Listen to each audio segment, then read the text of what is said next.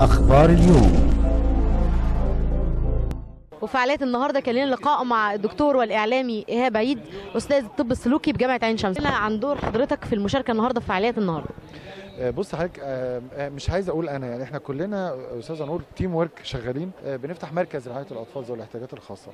وأنا آه، يعني بقول لك هو الدور بيدوب في وسط ال- الشخصيات فكل حاجة بنعملها مع الأطفال ابتداء من العلاجات الطبية زي العلاج بأدوية معينة بالأكسجين آه، ببعض الاكسرسايزز أو الحاجات العلاج الطبيعي أو العلاج المائي كلها مع العلاج النفسي اللي هو في صورة بقى جلسات زي تنمية مهارات تعديل سلوك آه، آه، آه، تخاطب حاجات زي كده.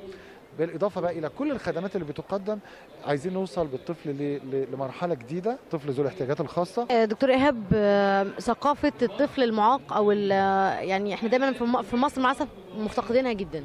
بنتعامل معاه على انه شخص يعني متخلف وليس مختلف.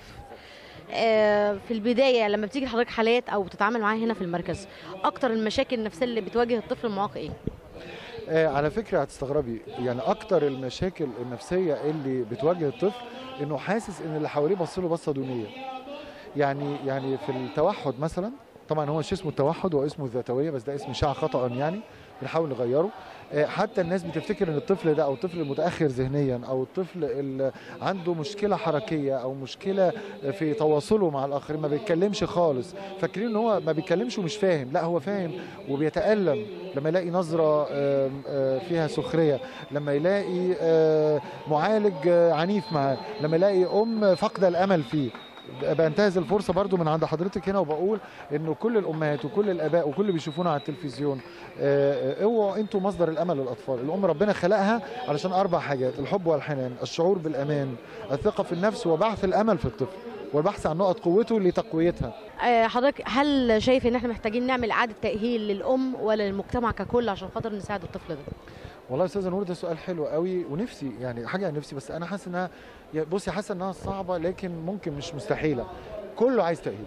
المكت... ال... ال... ما يزعلش مني وما يزعلش مني برضو إخواتي اللي هم في الإدارات في الدولة.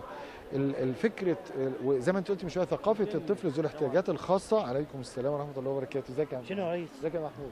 ازيك إزيك يا حبيبي؟ إخواتنا في الدولة آه، لو آمنوا بفكرة إنه لو والله العظيم لو ربنا سبحانه وتعالى نحن ننصر بضعفائنا اللي كان لسه بيكلمني حبيبي دلوقتي آه، لو لو ساعدنا دول الدولة دي تقوم.